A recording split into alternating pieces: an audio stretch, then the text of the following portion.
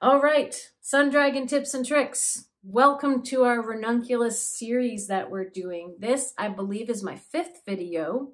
I filmed a bunch of these in one day and I'm going to be editing them throughout the week. But this video is on the right lifted increase, RLI, that is in the ranunculus instructions, specifically the one that happens right after you've done your ribbing for your collar.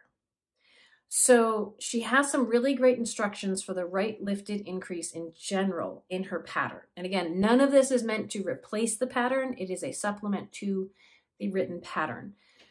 However, the pictures and the instructions that she has for a right lifted increase are when you're doing your increase into, like you do it into the stitch below, what's on your left needle, her instructions are if there's a knit stitch hanging out down there. Now, when it's a purl stitch, it's a little harder to follow her instructions.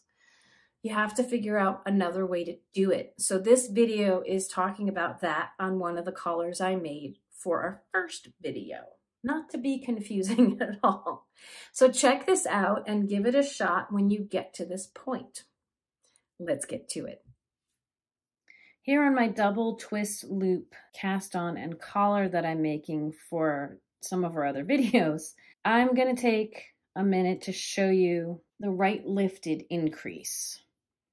So the way she has it done in the pattern, a right lifted increase would be as follows. You're going to grab the stitch underneath from back to front She's got some really nice pictures for this and uh, of the stitch immediately below the left the next stitch on your left hand needle. Take it and place it on your left needle and insert your right hand needle and knit it. Now that works really great if you're doing a knit stitch like this one right here. Again, you pick it up from the back you stick it on your needle and then you go ahead and knit it. However, on this row, you're doing it into the purl stitch. So let me follow her instructions.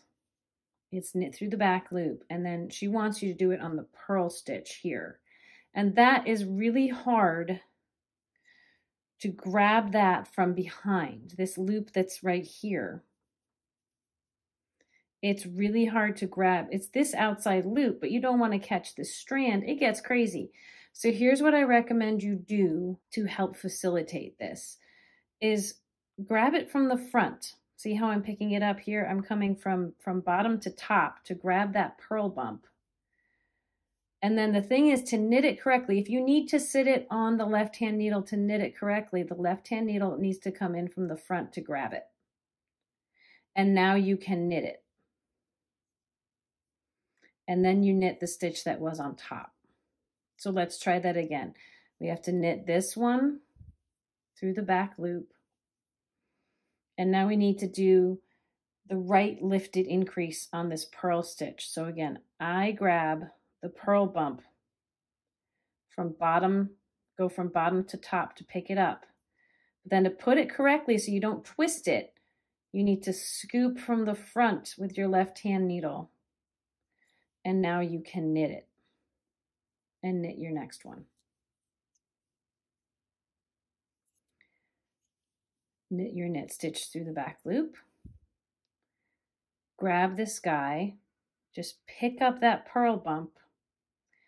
If you can knit him without putting him on this needle, picking up the purl bump, I would wrap my yarn around and scoop it back under and then knit my next stitch. But if that is at all confusing, the best way to do it to still use both needles. Remember the knit stitch, we have to knit through the back loop on this row. I'm going to grab my purl bump,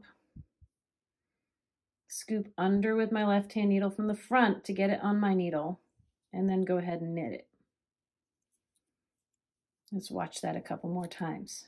Knit this one through the back loop, scoop under to grab it, Twist from the front to put it on the needle and go ahead and knit it. Knit the other one regularly. The knit stitch gets knit through the back loop. Scoop under and lift this purl bump Bring your left needle forward to catch it and go ahead and knit it. As Liz likes to say, if all else fails, you don't have to do the lifted one. You can knit through the back loop. Bring your hand up from behind and twist to add on a stitch and just keep going. But if you want to do this increase as written, scoop the purl bump,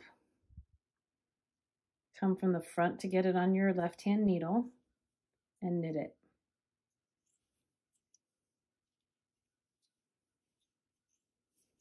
Once again, find that top purl bump, lift, scoop onto the left hand needle, knit.